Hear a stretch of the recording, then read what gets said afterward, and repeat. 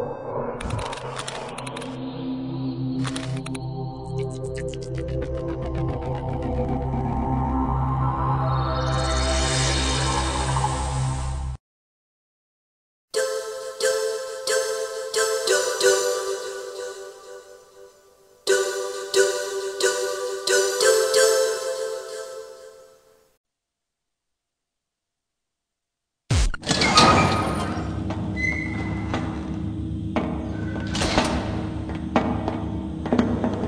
been a long time, Snake.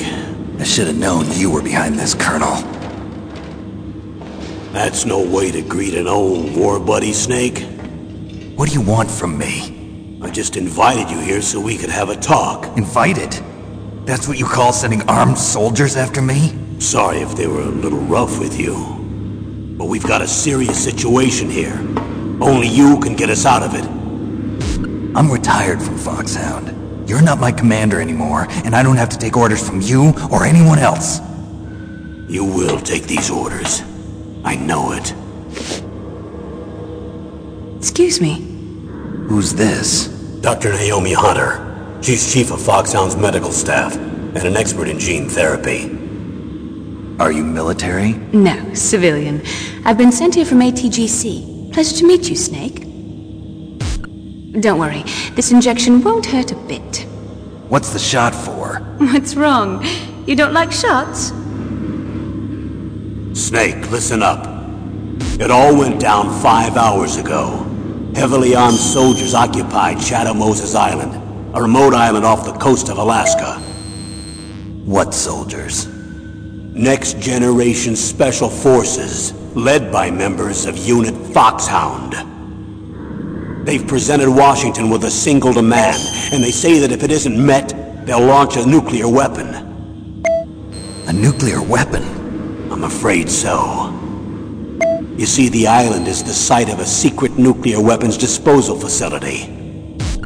Foxhound hijacking a nuclear weapon? Now you understand how serious the situation is. You'll have two mission objectives. First, you're to rescue the DARPA chief, Donald Anderson, and the president of Armstech, Kenneth Baker. They're both being held as hostages. Those are some heavy-duty hostages. Secondly, you're to investigate whether or not the terrorists have the ability to launch a nuclear strike, and stop them if they do. Any questions, Snake? Questions? I haven't even said whether I'd accept this mission. Well, you can make up your mind after you hear more about the situation.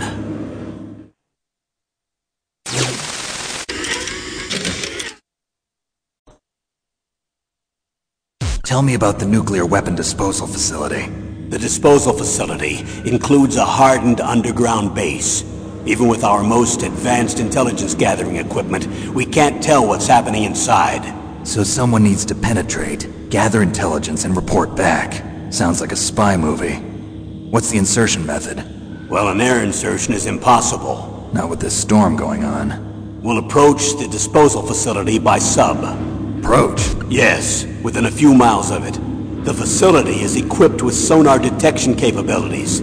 They'd be able to hear our engine or propeller noise. And then? We'll launch a one-man SDV. Launch? Same as a torpedo, only this has no propulsion device of its own. After the SDV gets as close as it can, dispose of it. From there on, you'll have to swim. You want me to swim in sub-zero Alaskan water? Don't worry. That suit represents the latest advances in polythermal technology. The nuclear weapons disposal facility covers the whole island. I'll instruct you by codec after you reach your target. Anyone going with me? As usual, this is a one-man infiltration mission. Weapons and equipment OSP? Yes. This is a top-secret black op. Don't expect any official support.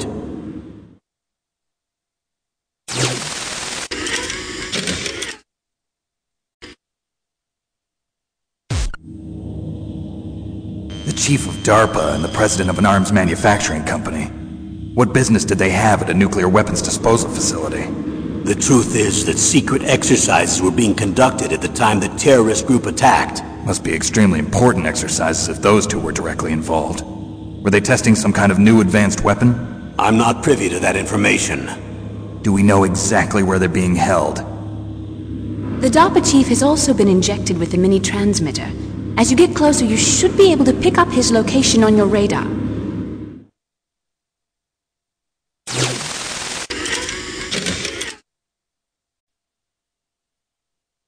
Do they really have the ability to launch a nuclear missile?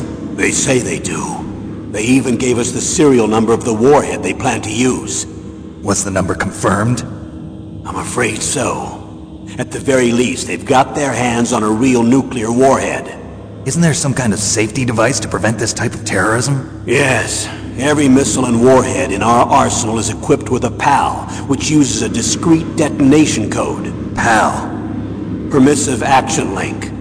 The safety control system built into all nuclear weapons systems. But even so, we can't rest easy. Why not? Because the DARPA chief knows the detonation code. But even if they have a nuclear warhead, it must have been removed from its missile. All the missiles on these disposal sites are supposed to be dismantled. It's not that easy to get your hands on an ICBM. That used to be true. But since the end of the Cold War, you can get anything if you have enough money and the right connections.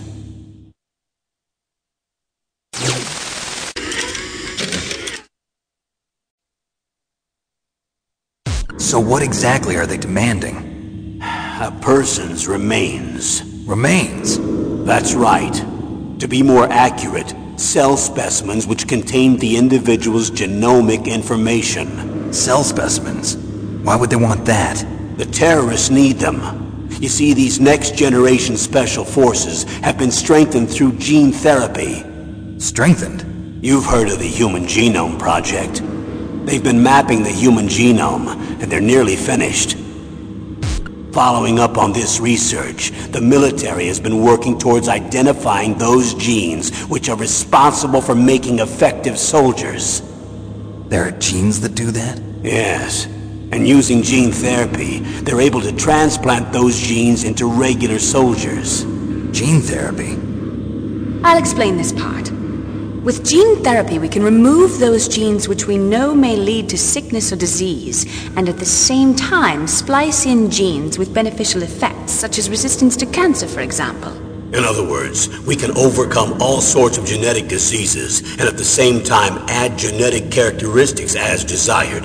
Okay. And so if you knew what genes were responsible for making the perfect soldier, you could implant them in the same way, right? Yes, we could. But it all depends on being able to isolate and identify those soldier genes. And in order to do that, it's helpful if you can study the genomic information of one of the greatest soldiers ever.